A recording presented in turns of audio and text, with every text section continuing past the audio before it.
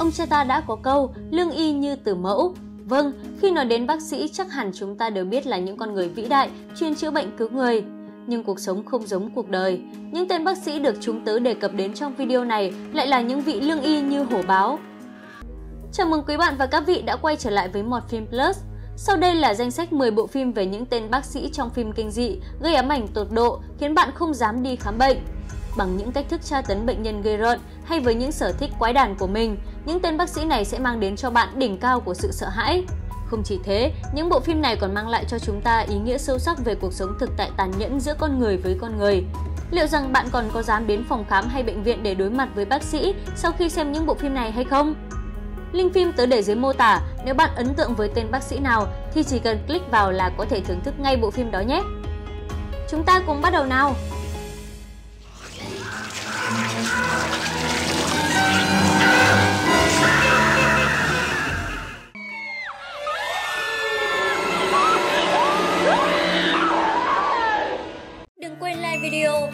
Ký kênh, bật chuông thông báo và để lại bình luận để ủng hộ chúng tớ nhé các bạn thân mến. Cảm ơn các bạn rất nhiều. 10. Bác sĩ Herbert West trong phim Reanimator năm 1985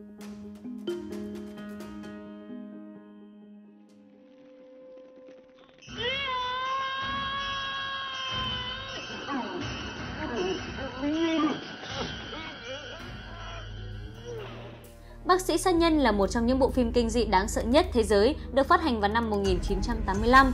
Nội dung của bộ phim kể về một bác sĩ trẻ tuổi có tên là Herbert West. Anh ta vốn là một nhà khoa học người Thụy Sĩ, người đã phát hiện ra một loại mô lỏng khiến cho người chết có thể sống lại. Sau khi thử nghiệm thành công trên một con mèo đen, anh ta đã giết chết vị giáo sư cũng chính là người thầy đã hướng dẫn anh trong phòng thí nghiệm để nghiên cứu trên cơ thể người và đã thành công. Sau đó, anh cùng đồng nghiệp và người yêu của mình tiến hành thử nghiệm trên xác chết. Những xác chết này đã hồi sinh sống lại thành những con zombie hung hãn và điều tồi tệ đã xảy ra.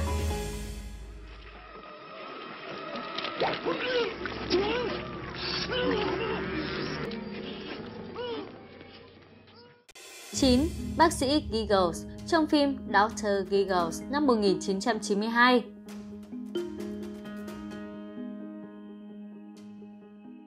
It's just a routine operation.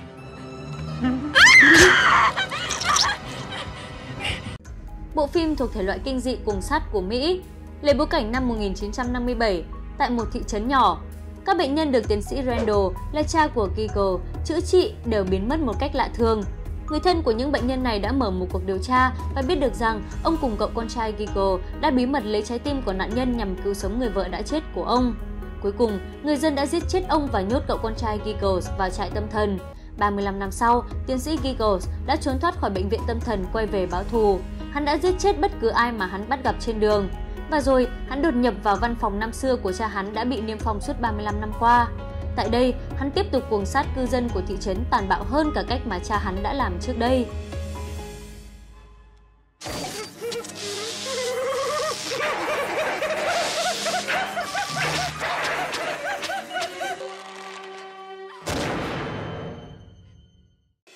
Tám, Bác sĩ Trainers trong phim Hellbound Hellraiser 2 năm 1988.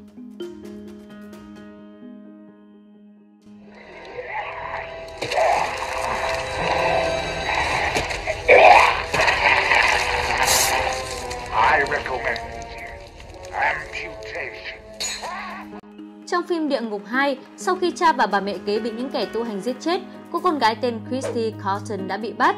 Cô đã cố gắng giải thích điều gì thực sự xảy ra trong gia đình cô với nhà chức trách, nhưng không ai tin và họ cho rằng đó chỉ là một câu chuyện bịa đặt, hoang tưởng, nên họ quyết định để cô tới viện tâm thần để cô có thể bình tâm và thư giãn hơn.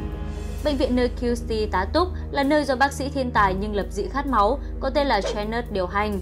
Tên bác sĩ điên Channers này luôn tìm kiếm các bí ẩn bằng việc hành hạ cô một cách dã man với nhiều cách thức gây rợn.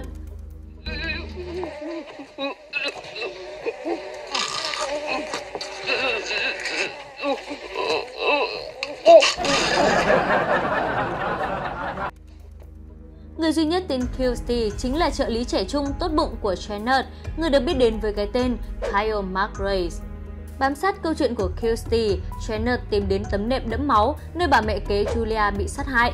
Janet quyết định hồi sinh Julia và phải giết chết các bệnh nhân của ông để làm thức ăn cho Julia. Julia quay trở lại với thế giới nhưng trong hình dáng của một thây ma thiếu gia. Cô giúp Janet tìm kiếm sức mạnh của quỷ, nhưng kế hoạch này bị Kirsty ngăn cản và rồi cuộc chiến với tên bác sĩ điên loạn đã xảy ra.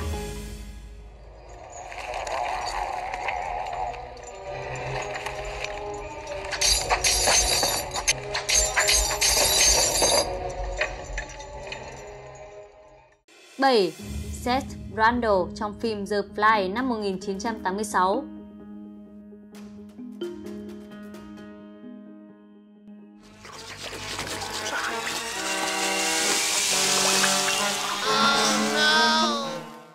Seth Brander vốn là một bác sĩ khoa học xuất sắc nhưng lại khá lập dị với công việc chủ yếu là nghiên cứu và phát minh. Trong một cuộc thí nghiệm, anh ta đã hợp nhất cơ thể mình với cơ thể loài ruồi.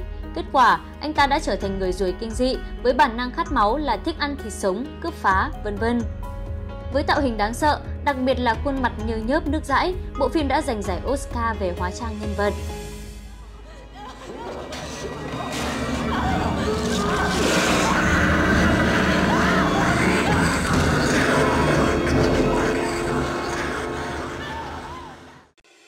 6. Bác sĩ Mary Mason trong phim American Marriage năm 2012.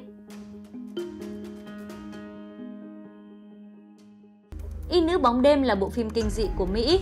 Đây là câu chuyện kể về nữ sinh viên y khoa Mary Mason khi cô ngày càng trở nên thất vọng về thế giới giải phẫu cô từng ngưỡng mộ. Do sự cám dỗ của đồng tiền khiến Mary bị cuốn vào thế giới ngầm của những ca phẫu thuật cho những quái khách sống trong bóng đêm. Những ca phẫu thuật thành công của cô vang dội trong thế giới ngầm, từ bọn mafia, vũ nữ, đạo trích, bọn giết người đều tìm đến cô để được thay đổi hình dạng sau những phi vụ bất lương. Trong phim, những cảnh quay man rợ máu me sẽ khiến những người yếu tim không thể xem được.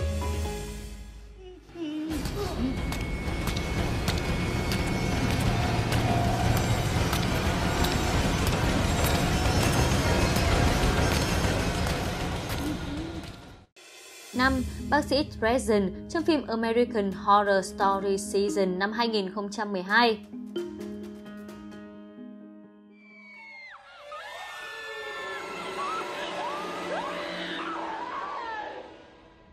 Mommy. Bác sĩ Dresden do diễn viên Zachary Quinto thủ vai được biết đến như một bác sĩ tâm thần bệnh hoạn kẻ đã dùng xương và da của các bệnh nhân, đồng thời là nạn nhân của mình để trang trí nhà cửa. Cũng tương tự, vào năm 1957, qua một cuộc điều tra nơi ở của tên giết người khét tiếng Ed Gein, người ta đã tìm thấy nhiều chụp đèn làm bằng da người và những chiếc bát sọ người.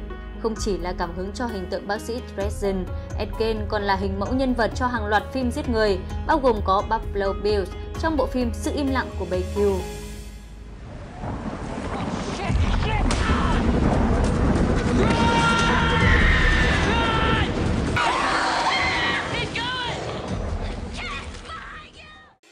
4.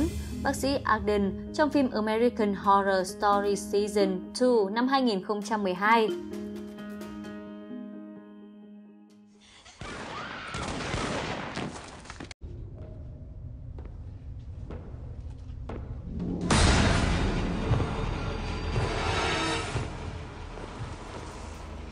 Trong mùa thứ hai của bộ phim Câu chuyện kinh dị Mỹ, còn có một bác sĩ sát nhân nữa tên là Arden. Aden là tên bác sĩ người Đức tàn bạo và hay có những thử nghiệm điên rồ với bệnh nhân của mình. Nhân vật này được tái hiện từ hình ảnh của tên Josef Mengele, một nhà vật lý học của Đức Quốc xã lúc bấy giờ. Những thí nghiệm kinh khủng mà Mengele gây ra cho những tù nhân, đặc biệt là những cặp song sinh tàn ác đến không tưởng. Thậm chí, nhân vật hư cấu bác sĩ Aden trong bộ phim vẫn không thể sánh bằng một góc sự tàn ác của tên Josef Mengele này.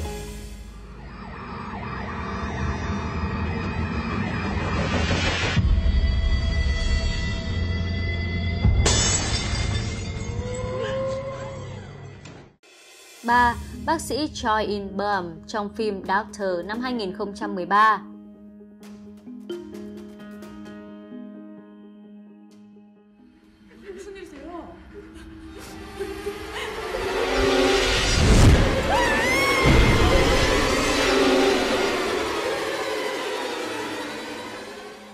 Choi In Baum là một bác sĩ thẩm mỹ tài giỏi có một cuộc sống giàu có cùng người vợ trẻ xinh đẹp. Vào một ngày đẹp trời, ông phát hiện người vợ trẻ xinh đẹp của mình đang cưỡi ngựa trên giường ngoại tình cùng người khác. Ông vô cùng tức giận. Bằng bản năng của mình, ông trở nên một người tàn ác. Ông đã lên kế hoạch giết chết vợ và gia đình đàng ngoại. Không những thế, ông còn giết tất cả những cô gái trẻ đến viện thẩm mỹ của ông.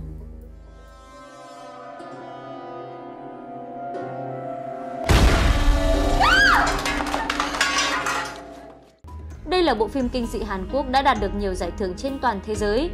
Không chỉ là kinh dị, nó còn mang ý nghĩa nhân văn sâu sắc về sự thủy chung trong cuộc sống gia đình. Phim lên án những bà vợ ăn no rừng mỡ đi ngoại tình khiến chồng căm phẫn gây nên thảm họa sát nhân.